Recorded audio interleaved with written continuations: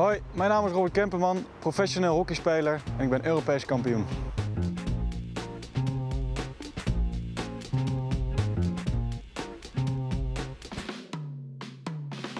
Ik ga jullie drie technieken uitleggen die ook be- belangrijk zijn bij het hockeyen.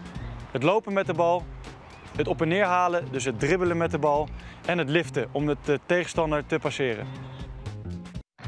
Ik ga je uitleggen hoe je loopt met de bal. Bij het lopen met de bal is het belangrijk dat je je elleboog naar buiten uitsteekt. Dat zorgt ervoor dat je lichaamspositie op de goede hoogte zit.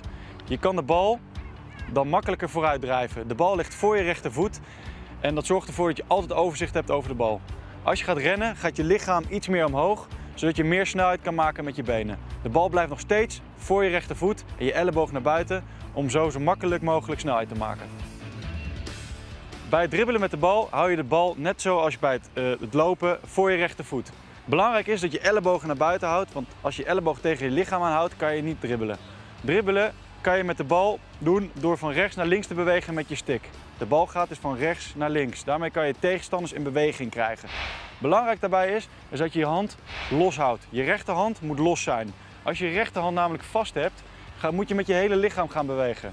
Dat is dus lastig. Zorg dat je rechterhand los aan de stick zit, zodat de stick makkelijker beweegt. Nu ga ik het liften van de bal uitleggen. Bij het liften van de bal wil je eigenlijk de tegenstander passeren over de stick heen. Je brengt de bal dus in de lucht. Daarbij is het belangrijk dat je wat lager gaat zitten. Dan kom je makkelijker onder de bal. Belangrijk is dat je je stickblad open draait, zodat je eigenlijk een soort schep maakt van je stick. Als je de bal beweegt van links naar rechts, maak je het makkelijker om de bal in de lucht te krijgen. Ik hoop dat je dit leuk vond. Ehm, veel succes met deze tips.